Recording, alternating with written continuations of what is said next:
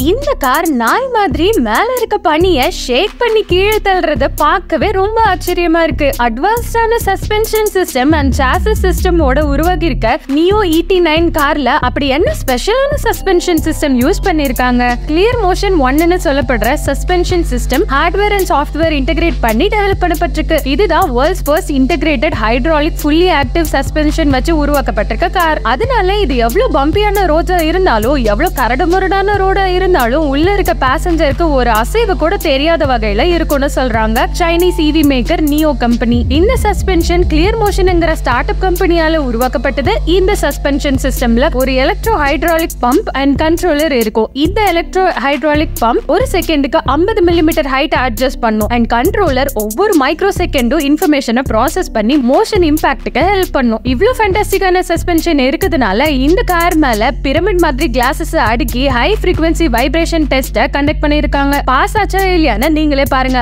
அதாவது இந்த system 75% five percentage in car மோஷனை reduce பண்ணுது. ஸோ எவ்வளோ மோசமான ரோட இருந்தாலும் ஃபிளாட் சர்ஃபேஸில் ட்ராவல் பண்ணுற மாதிரி தான் இருக்கும். அண்ட் இந்த ஷேக் ஆஃப் பண்ணுறதுக்கு யூஸ் பண்ணியிருக்க டெக்னாலஜி ஒரு இன்டெலிஜென்ட் சாசஸ் சிஸ்டம் அதை ஸ்கை ரைட்னு சொல்கிறாங்க இந்த டெக்னாலஜியில் ஒவ்வொரு வீலும் ஒவ்வொரு ஹைட்ராலிக் பம்பை வச்சு கண்ட்ரோல் பண்ணப்பட்டிருக்கும்.